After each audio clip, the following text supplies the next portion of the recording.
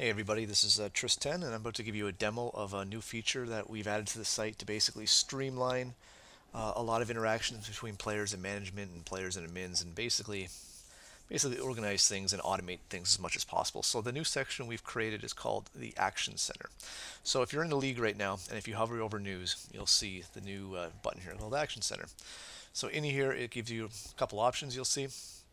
Now, as a player, you'll you'll see my action center and recent actions. Now, if you're an administrator or a league official or an owner or a players association or board of governor or anything like that, you'll see open actions.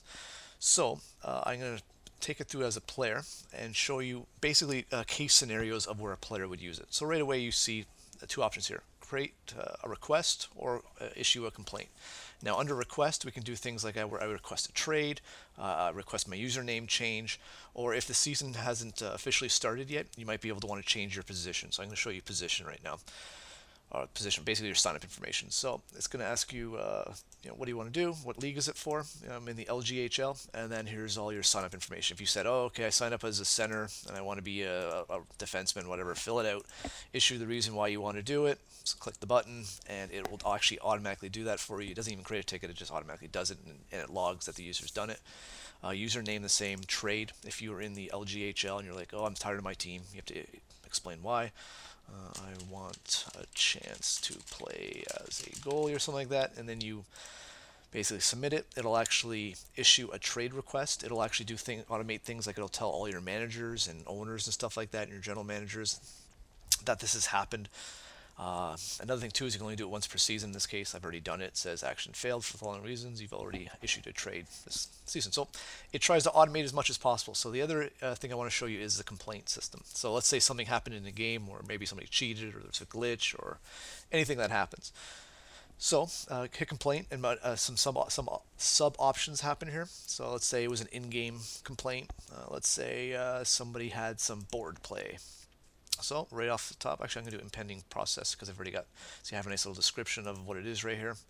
So again, ask you what league it is. Okay, what was the date of the infraction? So I'm going to say the second. Now what happens when you do this, based on this two information, it's going to pull all the games. So it's pulling all the games from the LGHL that happened on uh, December 2nd there.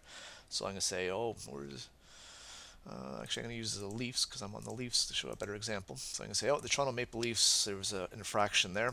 So another cool thing about this is you can actually tag multiple users. So one complaint can have be on many users. So I'm going to say it was on, let's say, Everett, and uh, just a couple guys I know that are on the roster right here. So hey, these two guys, you know, they they uh, they're part of this uh, this complaint that I'm going to issue. So I'm going to say, you know, guys were guys impeded my pro progress to win and score.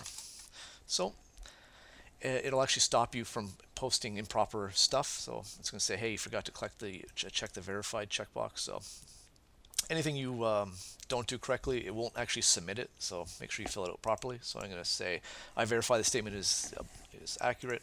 Another thing in this box, you could provide links and stuff like that. If you had images, you could put, you know, hey, here's a video of it. Just whatever you would want to do, just post the actual link right here in this box. Now, if you do that, uh, the reason why I did it is a box and not separate fields is because there might be multiple videos or multiple images and stuff like that. Use this box to be as scripted as possible because the more you do, the better uh, the people that will review your action will have more to go on. So just common knowledge. So I'm just going to say, I'm going to submit it.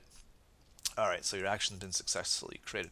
So now as an administrator or a person who has access to this, they're going to see a list like this. So they can see, okay, there's a complaint that came in, it's an in-game complaint, and, and, it was an impeding progress. They can see who it was from, they can see it was the LGHL, they can see it was in the NHL versus the AHL or CHL, S16 is the actual season, and then there's an actual link to the game.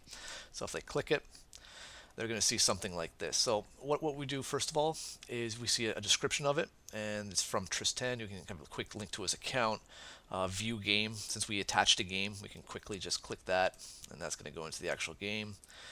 Uh, here's the message. So another thing too is we have uh, for the people that actually will be reviewing these, they have a chat. So they could be like, uh, I'll take care of this one. Same as the team chat, so the actual people can communicate and properly, uh, you know, work on an actual ticket, I guess you can call.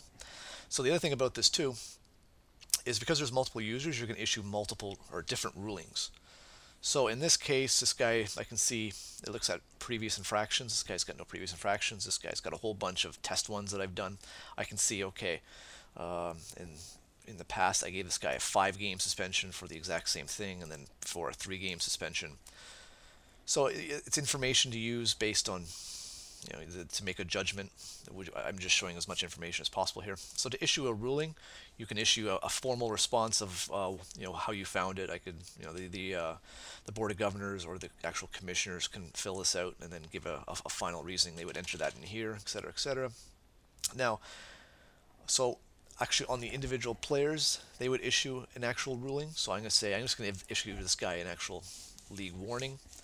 And for this guy, I'm actually going to issue a suspension. I'm going to say, hey, you get a five game suspension. I can say five game or five week, whatever that number is, it uses that. Or if, if the owners wanted or the uh, management wanted to, they can actually issue a ban. And this ban ties into the actual banning system that we already have. So it's pretty cut pretty, pretty, pretty easy. Also, uh, they can add somebody to this complaint. Like let's say they, they found out it was also another guy. I'm gonna add uh, I'm gonna add this dude in just for and say he gets a warning. I'm going to give this guy a five game ban.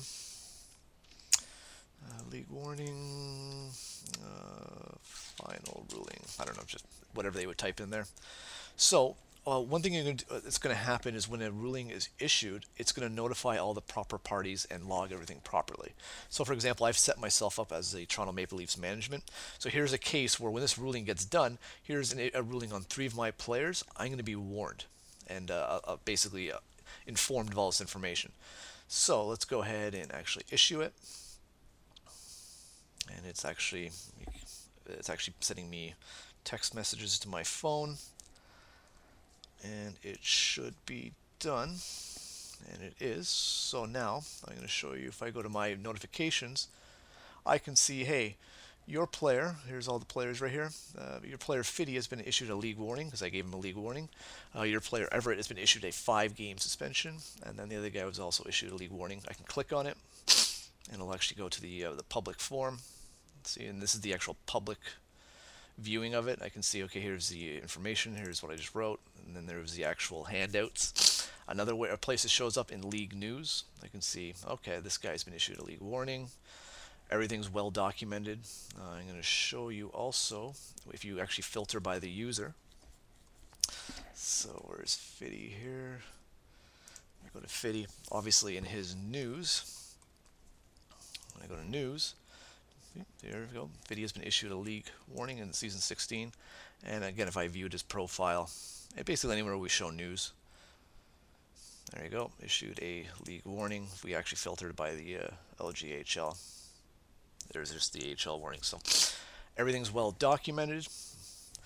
Uh, everybody gets properly notified.